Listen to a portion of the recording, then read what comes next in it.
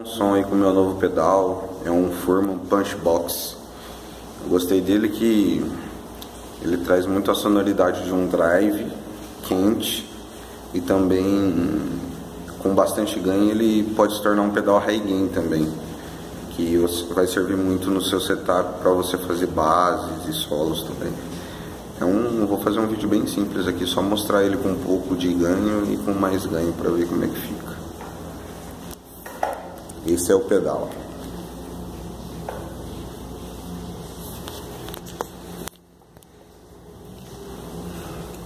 Com menos ganho.